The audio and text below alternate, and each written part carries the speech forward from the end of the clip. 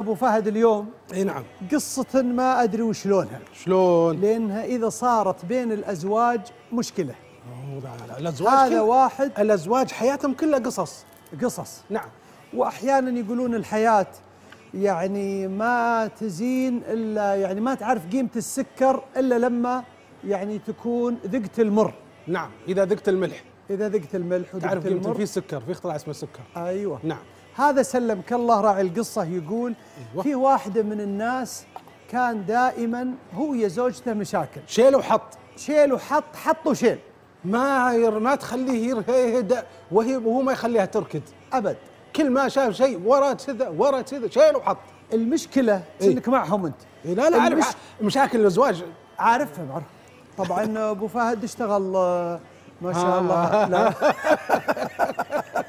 أبو فهد وش يلزق فيك كل شيء مساكين إي والله إي والله إي والله. أبو فهد اشتغل زوج مرت مرات. طيب. عموما إيه. هذا سلمك الله واحد دائما يعيب على طبخ زوجته. إي كل شوي ما يعجبه العجب. ما يعجبه. أنت ما تصلحين إلا هالشوربة أنت ما تصلحين إلا هالرز.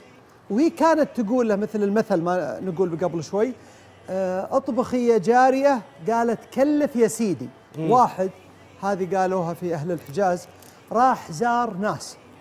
ولقى عندهم الكبة والسمبوسة والمحمر والمشمر والمشوي الله الله. والمحشي. ما بلاش. الكلام هذا ترى يوجع ناس.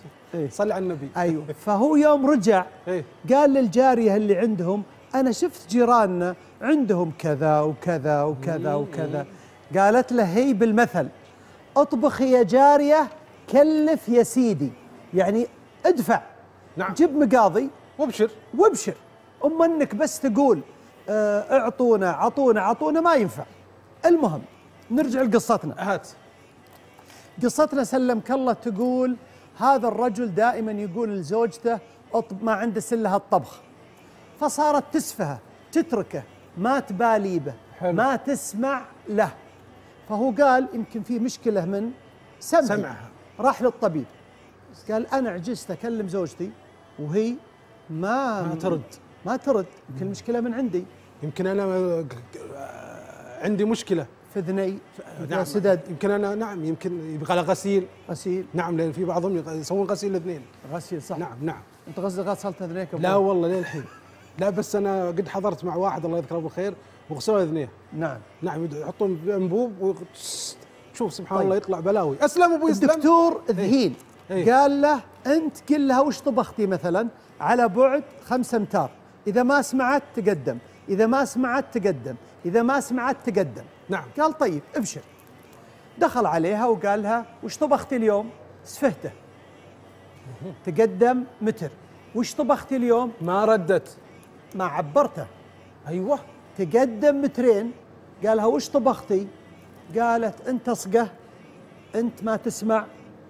أنا قايلت لك من أمس وقبل قبل أمس وقبل قبل قبل أمس ما عندنا إلا هاللي المقاضي اللي أنت جايبته. طبخ طبختيه يرف الله نعم كليه قالت هذا أكلك وهذه مقاضيك وهذا اللي مسوينه شبت عليه ذي ما آه. فهو كان يتكلم صاحب القصة إن يا جماعة الخير قبل ما تقول للناس اسمعوني شوف أنت وش كنت مسوي لهم. نعم. يعني أنت لو جايب لو جايب خضرة زينة لو جايب طال عمرك لحمة زينة بتلقى أكل زين. صح. أما إنك والله جايب اللي كلها من هال شو يسمونه المبرد ما ما حد ماخذه. أكيد. ول- ولذلك كثير إن نعذر بناتنا وخواتنا. أحيانا نقول اطبخوا وزينوا يقولون ما في مقادير ما يلامون. نعم. وأحيانا بعض الناس ذهين.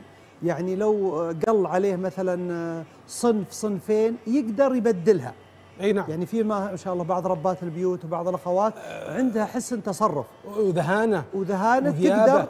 وتعرف شلون تطلع لك من لا شيء شيء. أيوه. لا لا ما شاء الله في بعض ربات المنازل وفي. ناس لا إلا يصير دقيق وحرفي إلا لازم أسويها بهالشيء. هم طبعا أخبر منا وأدرى منا نعم. إنه بس ما ما إنه لو رقت مكتوبة يقول جيب الأغراض. هذه تجيبها وأنت تنتظر الأكلة.